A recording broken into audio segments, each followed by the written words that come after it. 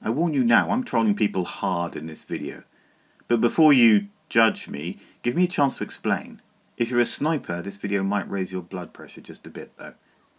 Now we're winning this match on the MCC front, but at this time my squad is moaning at me over comms because they're massively outnumbered and getting slaughtered trying to defend the point. They're screaming for my help at the objective, because apparently there are no blues down there helping them. I was on my way to kill a few snipers who, I was told, were on a rooftop in the city. Get my hardeners on just in case they have AV support, and I'm just about to engage when I see this clump of blue. I pull up to take a look. Note the enemy sniper's nest here with two snipers positioned to hit the objective. What do we find in that clump but five players on our team? That's one third of the entire team sniping from the rooftop. Notice they're all looking at the objective and none of them have noticed the enemy sniper nest not very far away, just over there. So let's fix that. Now I know the snipers watching this are not going to be too happy, but let me explain. Firstly, counter-sniping is one of your jobs. If you're a sniper, helping your team stay free from being sniped is pretty high up on your to-do list.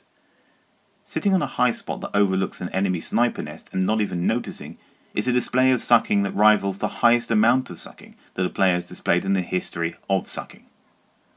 Now sniping's a valid and valuable role, don't get me wrong, Totally support it. But do we really need one third of our team doing it, and doing it badly, from the exact same spot? No.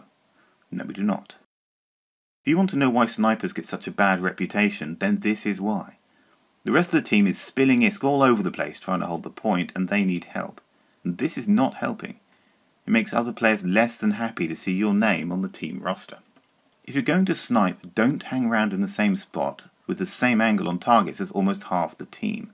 Spread out a bit if a spot's taken. And don't be surprised if someone takes exception to your group hug and does something about it.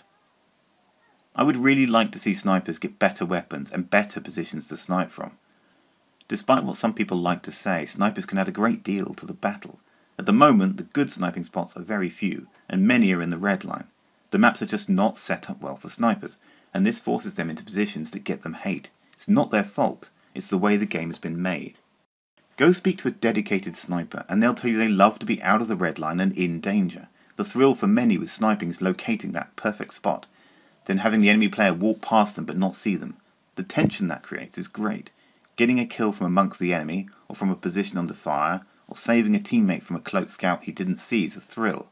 But Dust as it is today is not well designed to cater for snipers, forces them to play in a way that frustrates others. Most times it's not the sniper's fault. They don't want to do it any more than you want them doing it. That said, sitting in a massive blob on a roof is not cool. If you're a sniper, please no one say it's dedicated marksman actually, then sitting in a blob or deep in the red line makes us ground troops feel like bait. Feels like you are nice and safe in the red line, and we're the ISK fat worm that lures the enemy into your sights so you can go for a kill. Our suits and ISK are being tossed into the sea for you to see if you can hook a catch from the safety of the riverbank. If you fail, no big deal. Wait a bit and the bait will respawn and you can try again. The frontline players need to understand the difficulties the game itself has made snipers face, but at the same time, snipers need to understand that their actions also contribute towards the hate they get. So if my team are dying trying to take the point, while seven of you sit on a roof ignoring the enemy snipers sat next to you, then expect me to troll you. After I'm done though, I'll be trying to get the class fixed because it needs some help, and the players that use it have every right to choose and play that role. Still, blobbing on a roof is douchey. Don't. You have been judged.